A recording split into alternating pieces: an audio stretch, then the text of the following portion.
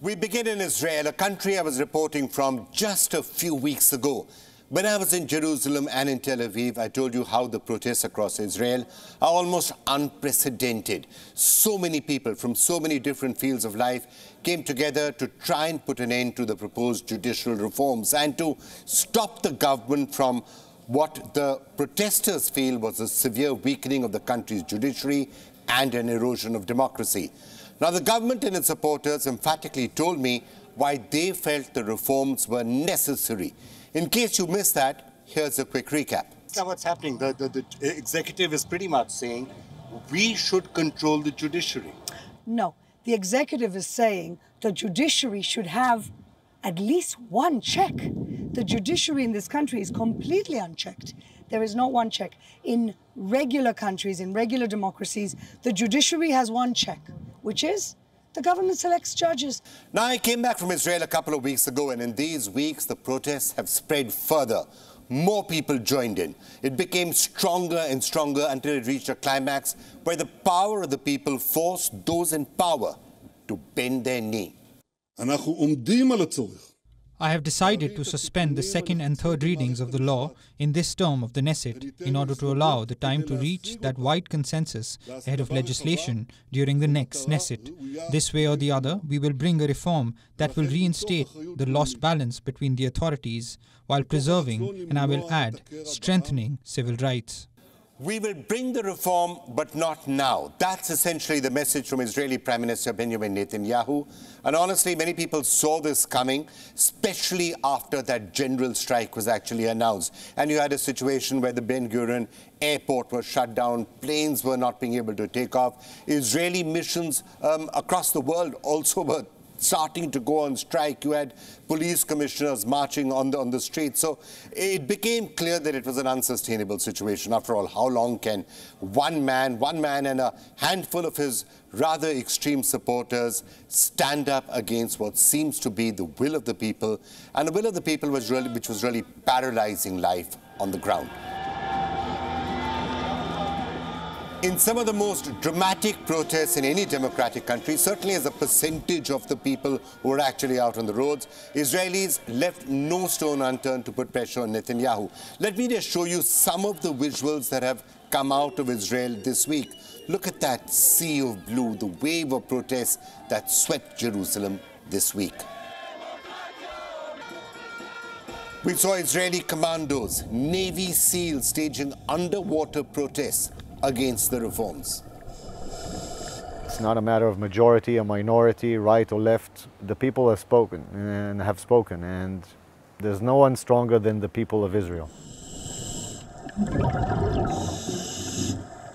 The people of Israel made this point pretty loud and clear, and their message reached not just the leaders at home, but also those outside Israel. The American President, Joe Biden, for example. And what do you hope the Prime Minister will do on that particular law? I hope he, uh, I hope he walks away from it. And walk away he did, but only after invoking a story from the Bible, the story of the judgment of Solomon. I'm sure most of you would have read this or heard this at some point in your life. The story is about a king. He had to rule between two women, both of whom claimed to be the mother of the child. How did King Solomon decide who the real mother was? Well, he ordered that the child be cut in half the woman who protested the ruling was finally figured out by, by, by, King Solomon that that was the child's real mother. Netanyahu told the story to Israelis while announcing his decision to temporarily hold the reform. As for Biden's rebuke, here's what the Israeli prime minister had to say about that. Allow me to quote, Israel is a sovereign country which makes its decisions by the will of its people and not based on pressures from abroad, including from the best of friends. And we know who the best of friends was that he was referring to right now.